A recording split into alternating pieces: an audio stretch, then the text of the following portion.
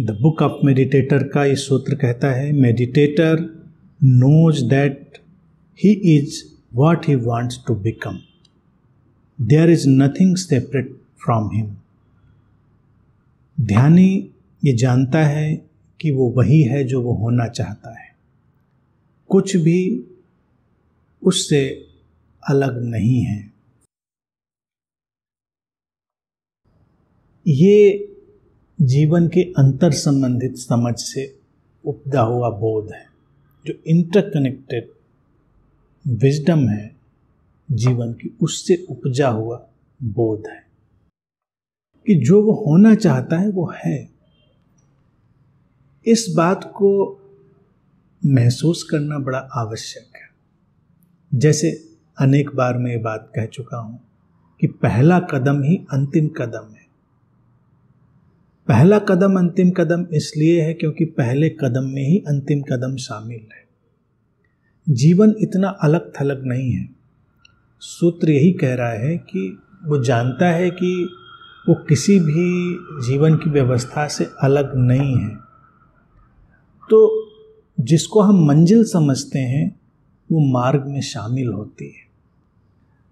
यूँ देखा जाए, ये सूत्र जीवन शैली भी है और एक कुंजी भी है कि जो होना चाहता है व्यक्ति, जब उसको महसूस करने लगता है कि वो है तो उसका जीवन बदल जाता है। अगर कोई बोध को उपलब्ध होना चाहता है, उदाहरण के लिए इसको देखें तो उसको ये बात देखनी पड़ेगी अपने अंदर कि ये बोध तो अभी भी है उसके अंदर, कहीं छुपा होगा, वो नहीं देख पा रहा होगा।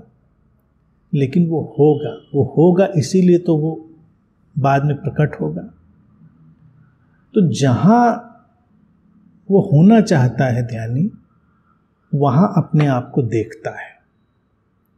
ये चीज़, ये कुंजी उस, उसकी यात्रा को एक अलग ही शक्ति और अलग ही गतिशीलता दे देती है। क्योंकि आम व्यक्ति क्या करता है कि जहाँ वो होना चाहता है या जो होना चाहता है, उसके बीच बड़ा फासला महसूस करता है। और उसको लगता है, ऐसा ऐसा करेंगे तो ऐसा ऐसा होगा, ऐसा नहीं कर पाएँगे तो ऐसा नहीं होगा। ध्यानी सीधे उससे संयुक्त हो जाता है, उससे जुड़ जाता है, अपनी मंजिल से, अपने लक्ष्य से। और ये विजुअलाइजेशन भी बनता है उसका, उसकी कल्पना भी बनती है और ये उसका बोध भी बनता है। और दोनों चीज़ें मिलकर एक दिन उसके भीतर वो खिलावट भी लेकर आती हैं, जो अपेक्षित थी, जो वो चाह रहा था, जो वो होना चाह रहा था। लेकिन जो होना चाह रहा है, उसको पहले ही अपने भीतर देखना आवश्यक है। और ये देखा जा सकता है क्योंकि कुछ भी अलग नहीं है। एक कली जो फूल बनेगी कुछ समय बाद, वो फूल इस कली में अभी भी सन्निहित है। वो फूल अभी भी इस कली में अपनी संभावना के रूप में बंद है, तभी तो वो फूल बनेगा। तो ये, उस कली के अंतर मन में ये बात हो सकती है कि वो फूल है। जो उसको होना है, वो अभी भी वही है, ये अवस्था का केवल भेद है। तो ध्यानी के लिए देखा जाए, इससे बड़ा आश्वस्त होने का और बिंदु क्या हो सकता है कि उसको जहाँ कहीं भी होना है, वो कली की तरह जानता है कि वो संभावना उसके अंदर बंद है। खुल जाएगी एक दिन, लेकिन इतना अलगाव नहीं है कि वो इतना दूर है कि वो पता नहीं कैसे होगा, नहीं होगा। इसीलिए हर साधक को ये बात स्मरण रखनी होती है। प्रत्येक बुद्ध ने दोहराई है ये बात। मैं भी उसको निरंतर कहता हूँ कि तुम अभी ही बुद्ध हो। तुम अभी ही परिपूर्ण हो। लोगों को लगता है, ऐसे कैसे है? हमें तो कुछ पता नहीं चल रहा। कली को भी कहाँ पता चलता है कि उसके भीतर फूल शामिल है? इसी तरह से हर व्यक्ति के भीतर बोध शामिल है।